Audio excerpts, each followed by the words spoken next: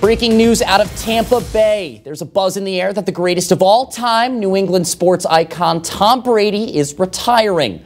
According to a report from ESPN's Adam Schefter and Jeff Darlington, Brady will hang up his cleats after 22 seasons. TB12 spent two decades in a Patriots uniform, bringing six Super Bowl titles to Foxborough. Brady helped transform a franchise that was once considered a laughing stock in the NFL into arguably the most dominant dynasty in sports history. However, we're still not 100% sure that this is the end for Brady. Because just hours after the news first broke, Brady's agent Don Yee said in a statement, quote, I understand the advanced speculation about Tom's future. Without getting into the accuracy or inaccuracy of what's being reported, Tom will be the only person to express his plans with complete accuracy. He knows the realities of the football business and planning calendar as well as anybody, so that should be soon.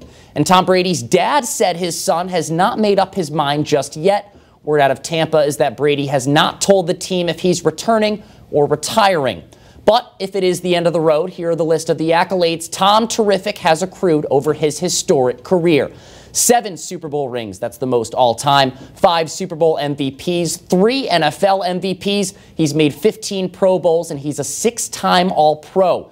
He stands as the NFL's all time passing touchdown leader with 624, and he's the passing yards leader with 85,000 plus yards. Once again, we'll keep you updated with So Stick with Western Mass News both on air and online for the latest.